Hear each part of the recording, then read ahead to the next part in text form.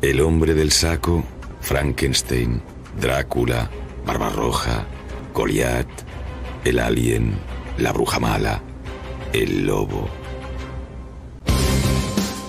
Reconócelo. Cuanto mejor es el malo, mejor es la película.